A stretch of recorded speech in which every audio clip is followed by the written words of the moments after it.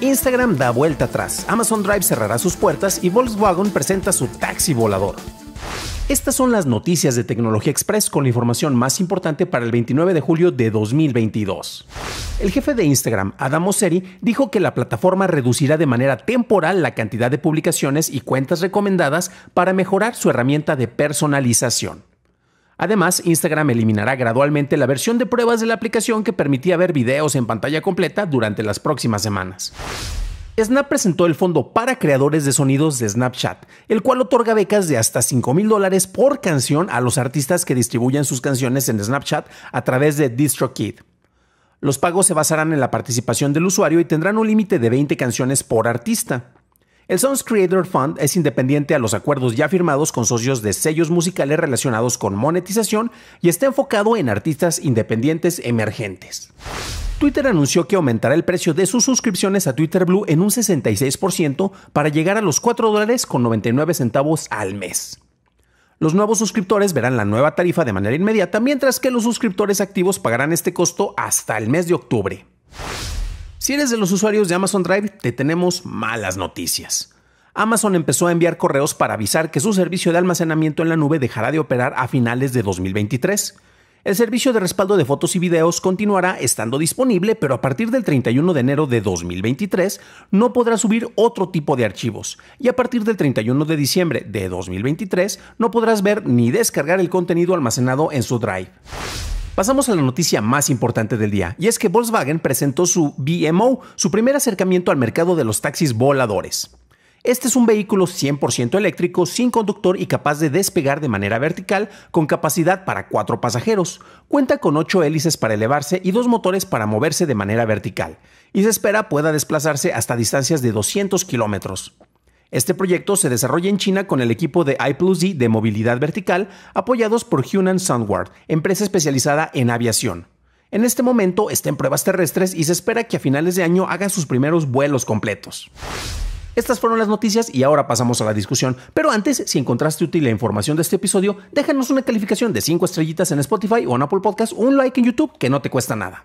Tenemos a Volkswagen que está lanzando precisamente sus primeros pininos en el transporte aéreo, precisamente con este taxi volador que están teniendo las primeras pruebas. Si todo sale bien el año que entra, podríamos tener unas pruebas un poco más extensas y tal vez para ahí del 2024 tenga ya operaciones. No son la primera empresa en enfocarse en estos aspectos, pero sí es una de las más serias y que ya tienen gran trayectoria en el manejo de transporte.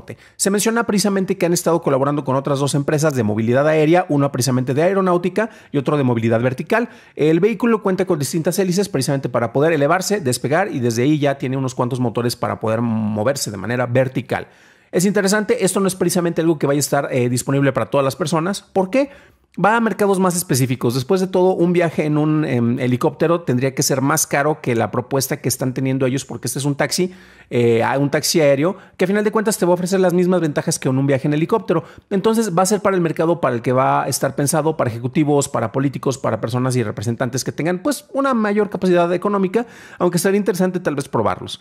Se menciona que efectivamente tiene capacidad para cuatro personas, sabemos que esto va a depender del mercado, también tiene un espacio designado para los equipajes. Y sabemos que, nuevamente menciono lo del mercado porque los mexicanos tenemos cierta mala fama, mm, si han viajado en transporte público en la Ciudad de México, sabemos que esa fama no es precisamente innecesaria, en el cual pues dentro de un vehículo nos metemos una, cantidad enorme de personas, entonces si aquí te dicen que son cuatro eh, pasajeros, me imagino, este, afortunadamente es un vehículo autónomo, pero si tuviera algún chofer este, de, microbús en México, te dirían pásale, pásale lugar tenemos espacios y tratarían de meter hasta 20 personas ¿no? en, ese lugar, aunque desde luego no podría estar volando ni operando de esta manera. Pero bueno, eh, les dejo, recuerden que chequen eh, las notas precisamente del, episodio y que ya estamos lanzando precisamente todo el texto.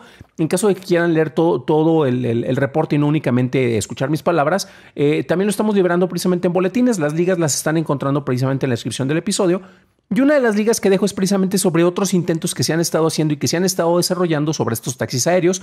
Vemos que precisamente eh, algunos de estos pues sí están un poco más eh, distintos eh, en relación a lo que se ha estado presentando con Volkswagen, el cual pues no, no parece ser únicamente un avión, sino que efectivamente está un poco más cercano a algo que nosotros podríamos encontrar en una realidad y pues precisamente lo interesante de este tipo de sinergias. A final de cuentas tienes que tener ciertos requisitos para poder viajar en el aire, eh, el manejo de las hélices de entrada y los, motores que ya mencionamos para poder tener el desplazamiento vertical. Pero pues vamos a ver cómo evoluciona esto y sobre todo si hay un mercado en realidad que esté dispuesto a utilizar este tipo de vehículos.